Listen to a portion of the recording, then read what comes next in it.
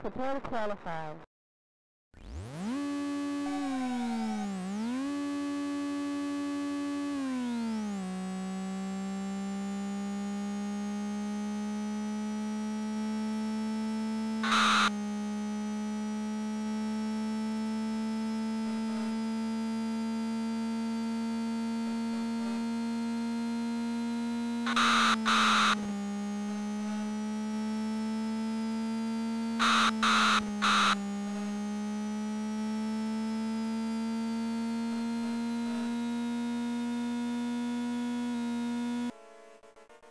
Safe driving, you qualified to vote.